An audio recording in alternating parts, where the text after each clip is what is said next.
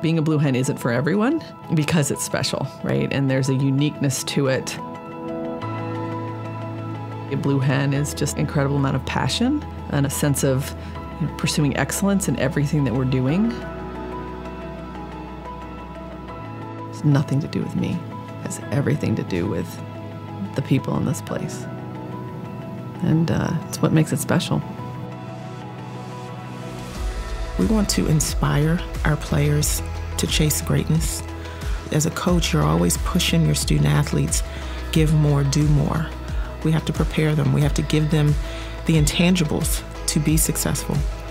Not only student athletes, but building powerful people, future leaders for tomorrow. Well, it's a lot different today than it was back when I came. I think the whole concept of student athlete and student athletics have changed a lot over the last 20 to 30 years. I think a lot of people saw it as an opportunity to get to college, and then there was sort of no end game. The obvious part that the number of people who are actually going to make a living in their sport is very small. At least for me, it's always like, oh, of course, like I wanted to be a professional tennis player.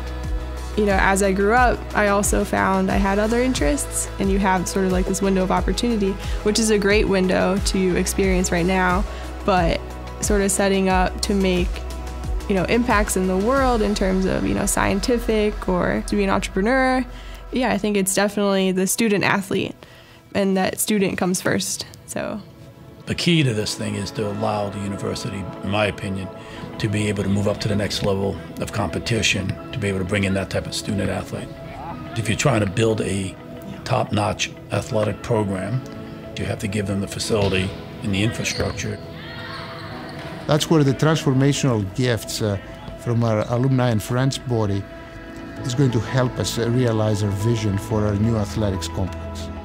Yeah, when we get this performance center, get out of our way, right? I mean, honestly, what this performance center does, it just enables us you know, to do so many things in ways that we're just not capable of doing right now.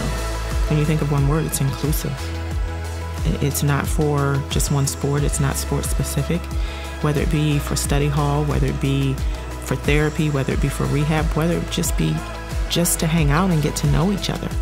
Well, for recruiting, it's a game changer for us. If you were to look across our conference, we are the last ones to be doing anything around this. That would make a huge difference.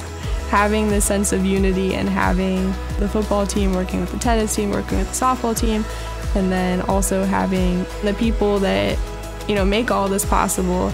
We all become sort of a unit that are trying to re- you know, reach the next level, reach the goals that we've set. Well, I think the commitment today is there. Now we need the financial support.